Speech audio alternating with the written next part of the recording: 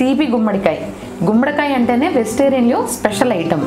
కాకపోతే చాలామంది తినరు గుమ్మడికాయ అంటేనే కానీ దాన్ని చేసే విధానాల్లో చక్కగా వండితే మాత్రం దాని రుచే చాలా బాగుంటుంది.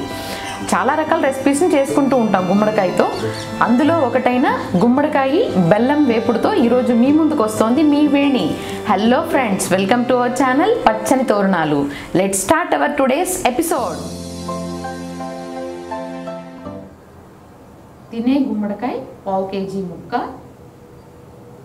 టూ టేబుల్ స్పూన్స్ నల్ల బెల్లం వన్ టేబుల్ స్పూన్ ఫ్రెష్గా నూరుకున్న అల్లం వెల్లుల్లి పేస్ట్ రెండు పచ్చిమిరపకాయలు హాఫ్ టేబుల్ స్పూన్ జీలకర్ర పౌడర్ ఫార్టీ గ్రామ్స్ ఆయిల్ ఒక పెద్ద సైజ్ ఉల్లిపాయ కొంచెం కొత్తిమీర.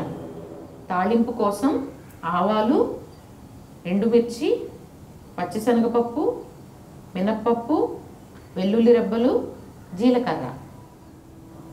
పచ్చికారం రాక్ సాల్ట్ పసుపు. ముందుగా మనం ఈ గుమ్మడికాయ ముక్కని తోలంతా తీసేసుకొని సన్న ముక్కలుగా కట్ చేసుకోవాలి. ముందుగా మనం ఈ గుమ్మడికాయ వేపుని చేసుకోవడం కోసం స్టవ్ ఆన్ చేసి పాన్ పెట్టుకుందాం. మనం తీసుకున్న ఆయిల్ని వేసేసుకోవాలి. ఇప్పుడు ఈ ఆయిల్ని కొంచెం హీట్ అవనిద్దాం. ఇప్పుడు ఆయిల్ అనేది హీట్ అయింది మనకి. ఒక ఐదు ఎండుమిర్చిని తీసుకొని కొంచెం ఇలా ఘాటు పెట్టేసుకొని వేసేసుకోవాలి.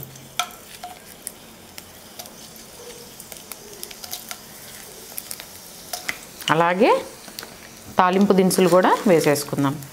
ఒక వన్ స్పూన్ పచ్చిశనగపప్పు వన్ స్పూన్ మినపప్పు వన్ స్పూన్ ఆవాలు వన్ స్పూన్ జీలకర్ర. ఒక ఏడెనిమిది వెల్లుల్లి రబ్బల్ని తోలు తీసి ఇలా కచ్చాబచ్చ దంచుకుని పెట్టుకున్నాను. ఇప్పుడు వీటిని వేసేసుకోవాలి. ఇప్పుడు వీటన్నిటిని దోరగా వేగనిద్దాం. ఇప్పుడు ఇవి దోరగా వేగిపోయినాయి. అల్లం వెల్లుల్లి పేస్ట్ని కూడా వేసేసుకోవాలి.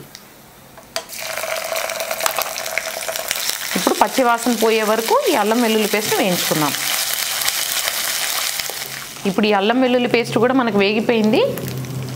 పచ్చిమిర్చిని వేసేసుకున్నాం అలాగే ఉల్లిపాయ ముక్కలను కూడా వేసేసుకోవాలి. ఉల్లిపాయని ఇందాక మీకు చూపించిన ఉల్లిపాయని ఇలా బోర్గా కట్ చేసి పెట్టుకుంటున్నాను.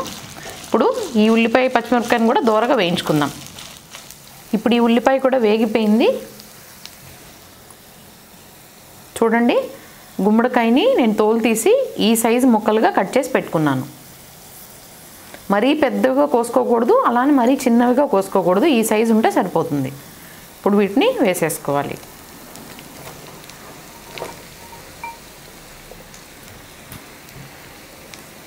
ఇప్పుడు ఒకసారి ఇదంతా బాగా కలుపుకుందాం.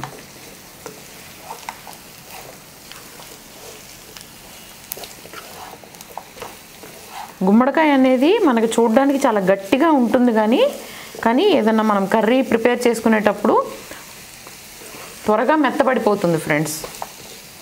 అందుకే కొంచెం వేపుడు చేసుకోవడానికి మాత్రం పెద్ద సైజుగా కట్ చేసుకోవాలి ముక్కల్ని.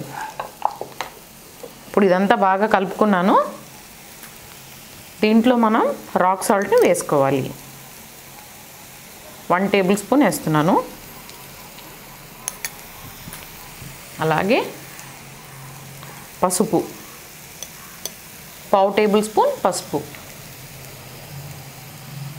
ఈ రెండింటిని వేసేసి ఇంకొకసారి కలుపుకుందాం. గుమ్మడికాయ అంటే చాలామంది ఇష్టపడరు కానీ కానీ దీన్ని చేసే విధానం సరిగ్గా చేస్తే చాలా బాగుంటుంది.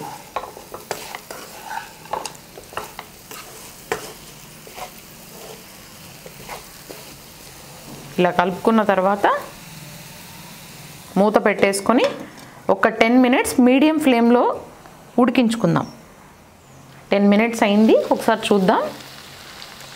చూడండి వాటర్ అనేది పోసుకోకపోయినా మనం మూత పెడతాం కదా ఆ ఆవిరికి అలాగే మనం వేసే సాల్ట్కి ముక్క అనేది మగ్గిపోతుంది. ఇలా ఒకసారి బాగా కలుపుకున్న తర్వాత ఇంకొకసారి మూత పెట్టుకొని ఇంకొక టెన్ మినిట్స్ ఇలాగే మగ్గించుకుందాం. మరొక టెన్ మినిట్స్ కూడా అయిపోయింది. చూడండి చక్కగా మగ్గిపోయింది. ఇప్పుడు మనం కారంని వేసుకోవాలి. వన్ టేబుల్ స్పూన్ పచ్చికారం. అలాగే జీలకర్ర పౌడర్ను కూడా వేసేసుకోవాలి. ఇప్పుడు ఒకసారి కలుపుకుందాము.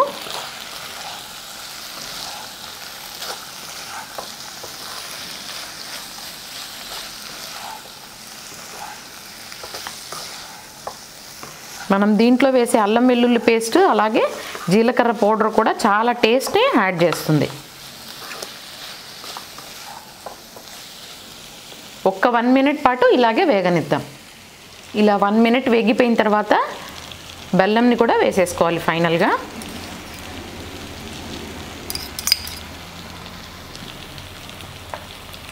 అలాగే కొత్తిమీరను కూడా వేసేసుకుందాం.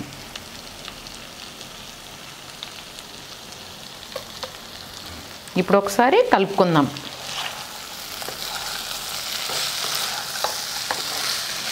ఈ గుమ్మడికాయ వేపుడు ఖచ్చితంగా మనం బెల్లంతో చేసుకుంటేనే చాలా బాగుంటుంది ఫ్రెండ్స్. తినని వాళ్ళు కూడా తింటారు. అంత బాగుంటుంది. ఇంకా ఇది రెడీ అయిపోయినట్లే మనం ఇంకా స్టవ్ ఆఫ్ చేసేసి సర్వింగ్ ప్లేట్లోకి ట్రాన్స్ఫర్ చేసేసుకుందాం.